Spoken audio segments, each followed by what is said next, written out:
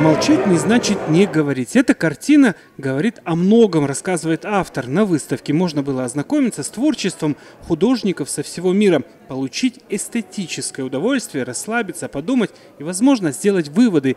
Такую возможность дает гостям арт-пространство, говорит Камила Турисбекова. Здесь есть произведения казахстанских художников, а, вот в этих отсеках. Есть произведения российских художников.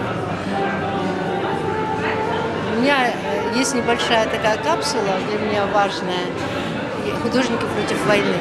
Я очень рекомендую, вот там графика и картины. То есть э, здесь э, такой, даже нельзя сказать, что что-то тематически объединенное, просто картины, приобретенные в разное время.